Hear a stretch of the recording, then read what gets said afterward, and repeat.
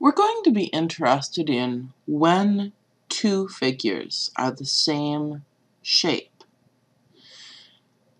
And the easiest way to see that two figures are the same shape is if they're the same shape and also the same size. If two figures are the same shape and the same size, we call them congruent.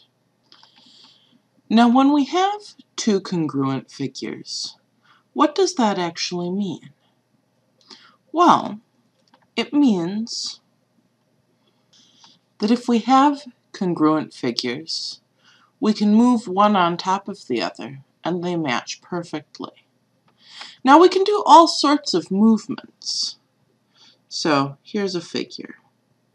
One of the ways that we could move this figure is to translate it, to just slide it without twisting at all. We saw that movement before when we were talking about the parallel lines. Another thing that we can do is to turn or rotate the figure. Right, so here it helps if I color the squares, right?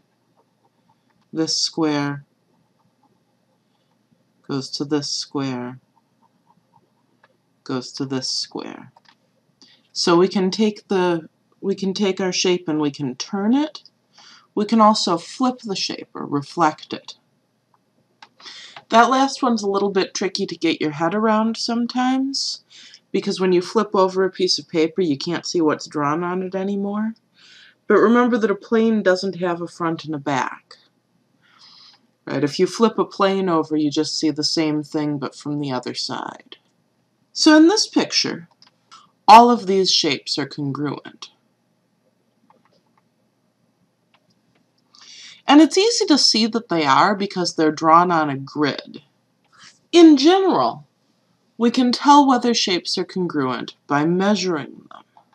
We know that two shapes are congruent if all their sides are the same length and all the angles between the sides are the same.